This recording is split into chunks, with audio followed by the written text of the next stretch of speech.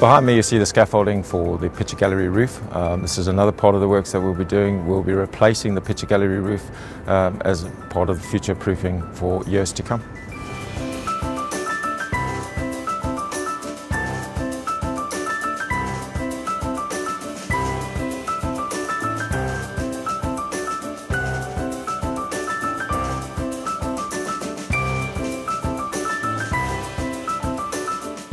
The removal of the paintings from the picture gallery in preparation for the next phase of the reservicing programme has given us an exciting opportunity to put 65 spectacular paintings on public display in a modern gallery setting.